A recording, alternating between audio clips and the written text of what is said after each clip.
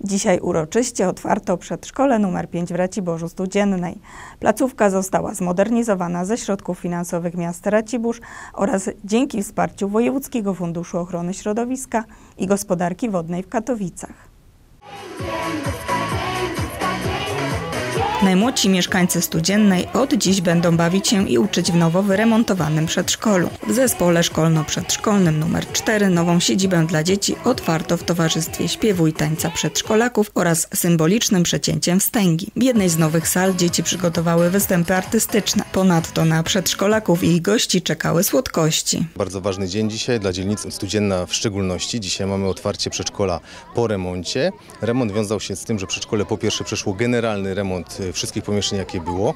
Dodatkowo zostało utworzone jedno pomieszczenie dla trzeciej grupy, która na tą chwilę mieściła się w szkole, więc y, od dzisiaj dzieci będą wszystkie uczęszczały do przedszkola, do budynku przedszkolnego. Przedszkolne w 100% wyremontowane, energia e, zielona też zamontowana i przede wszystkim wymieniony kocioł węglowy na ekologiczny. W końcu ten dzień, czyli uroczyste otwarcie naszego nowo wyremontowanego przedszkola. E, zyskaliśmy trzecią salę, czyli nasze przedszkolaki wszystkie będą się mieściły już w tym budynku.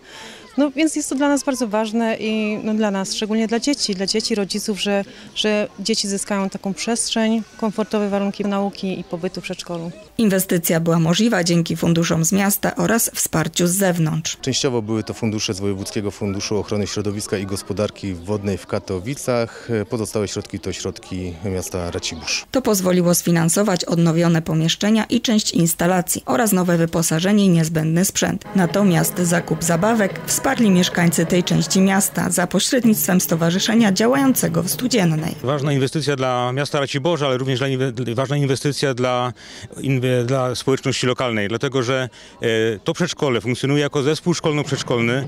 E, tutaj e, z jednej strony zadbaliśmy o to, żeby były trzy oddziały, dzięki uprzejmości miasta udało się to, a z drugiej strony też dajemy coś od siebie. I to chciałem powiedzieć, że tutaj nowe przedszkole, ale też nowe zabawki, nowe wyposażenie, które kupione zostało ze środków stowarzyszenia, a to z kolei, trzeba powiedzieć znowu, jest dzięki społeczności lokalnej, która bardzo chętnie uczestniczy w festynach, kiermaszach. I to jest taki podatek, który oddają na studzienną, który wraca do nas właśnie w postaci y, możliwości zainwestowania y, tutaj w tym przypadku w nowe zabawki i częściowo wyposażenie. Przedszkolaki już mogą korzystać z nowych atrakcji podczas zabawy i nauki, które są nowoczesne i bezpieczne.